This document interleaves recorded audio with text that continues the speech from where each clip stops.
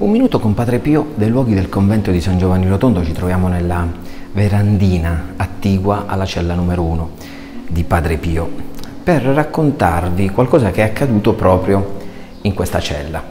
Siamo nel novembre del 1948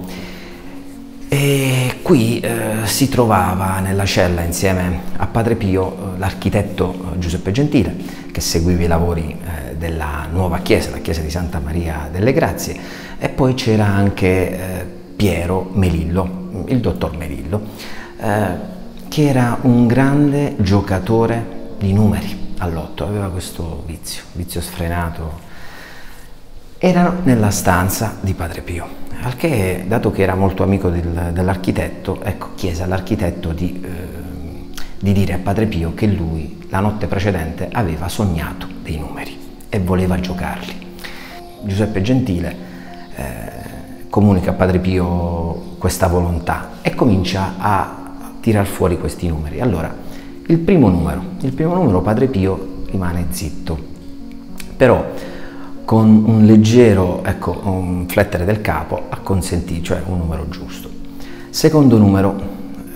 Padre Pio aveva a fianco il dottor Gentile, l'architetto, e, e gli diede una gomitata, quasi per dire va bene, però mh, mm, gli ha cambiato un'unità, ecco, gli ha corretto se era il 9, il 10, se era il 12, il 13, insomma, gli ha cambiato questa unità. Sul terzo e il quarto numero, Padre Pio rimase in silenzio. Allora, subito, dopo aver salutato Padre Pio, eh, il dottor Piero Melillo tornò a Milano e nel momento in cui si stava recando al botteghino per giocare questi quattro numeri ebbe un dubbio sul silenzio dei, del terzo e quarto numero di Padre Pio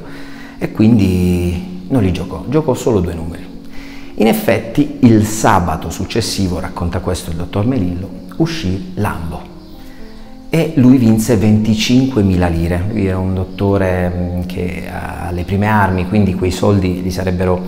eh, stati mh, utili per la sua vita, eh, ma lui tornò qui a San Giovanni Rotondo e la metà la diede a Padre Pio come offerta per casa sollievo della sofferenza. Padre Pio eh,